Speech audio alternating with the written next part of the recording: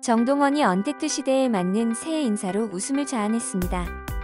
지난 12일 방송된 TV조선 예능 프로그램 세상 어디에도 없는 아내의 맛 131회분은 닐슨 코리아 기준 전국 시청률 9.6%, 분당 최고 시청률은 11.3%를 돌파하며 화요 예능 절대 왕좌의 위엄을 드러냈습니다. 이날 방송에서는 정동원과 임도영의 온라인 세배 타임 등이 그려졌습니다. 정동원의 집에서 함께 아침을 맞이한 트롯둥이 정동원과 임도형은 아침부터 식사 메뉴로 티격태격하며 웃음을 자아냈습니다. 이후 방학 계획표를 함께 짜기 시작한 두 사람은 영상통화로 감사했던 분들한테 새해 인사를 전하자는 계획을 세웠습니다.